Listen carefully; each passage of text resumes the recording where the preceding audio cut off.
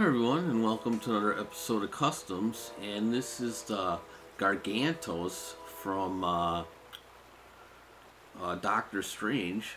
Um, yeah, the new movie just came out what two weeks ago.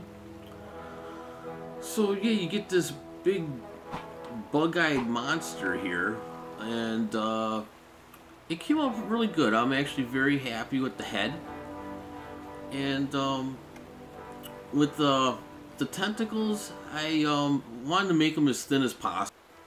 So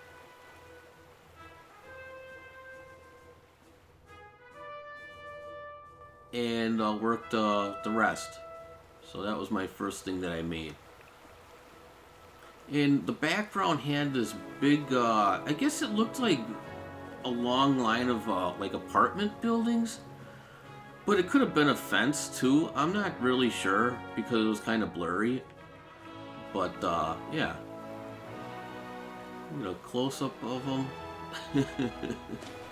and it had these these pools um, he was walking over. You know, so I made the the flooring for it. Didn't have the the fountain back there, but yeah, it came out pretty good. You know. Uh, the tentacles, I tried to keep the lines, you know, of course, uh, thin. So I didn't, did not, I did not put tentacles on an angle, um, at all, really.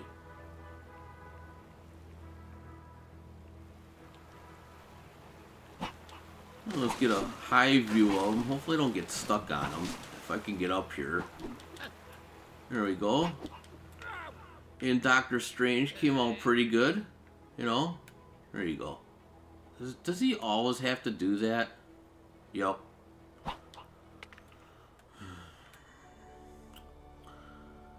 So, yeah, that is uh, Gargantos from Doctor Strange. Um, leave a comment, hit the like button, and subscribe. Thanks for watching. Bye, everyone.